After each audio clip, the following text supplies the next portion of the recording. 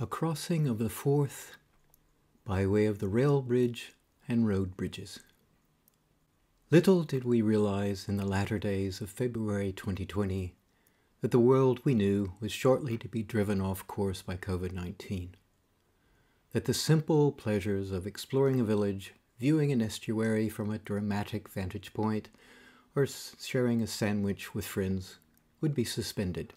In April of that year, I started keeping a photo diary as a point of reference for the evolving new normal.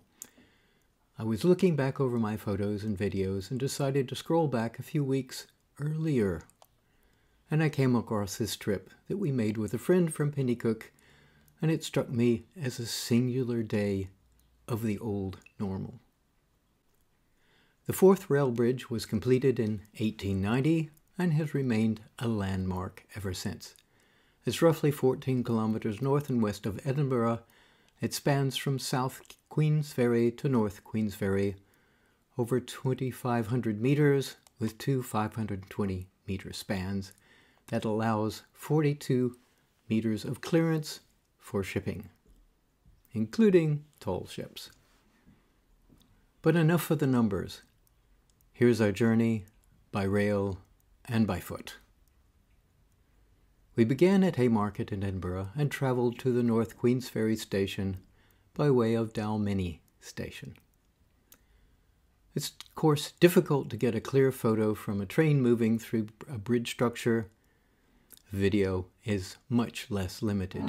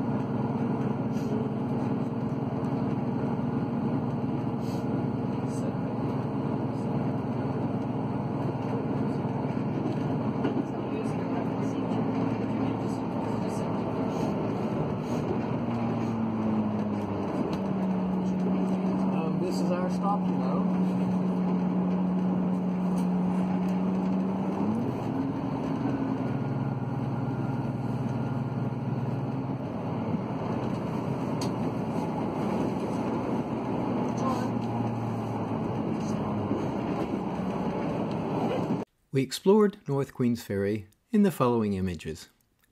To say it is dominated by its neighbor is an understatement. So here's some views.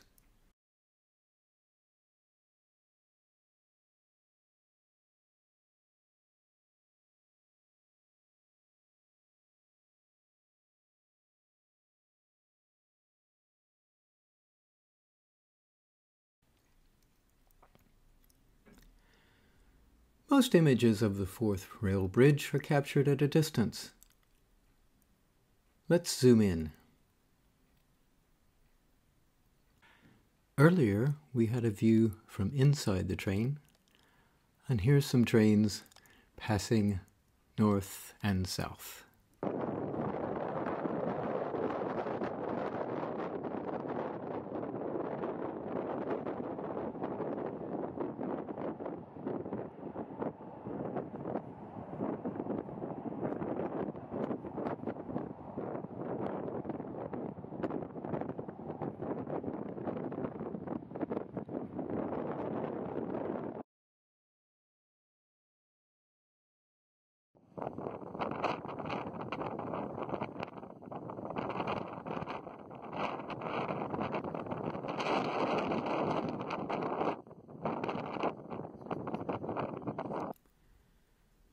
We could have taken the train back across, but completing the circuit by walk by a walk through North Queensferry to the older Forth Road Bridge and then to South Queensferry seemed to be a poetic option.